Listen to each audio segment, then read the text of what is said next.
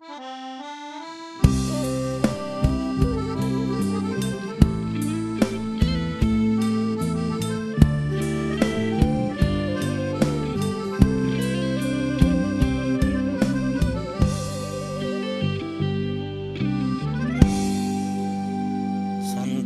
cô thằng ô chúng nó khai chạy.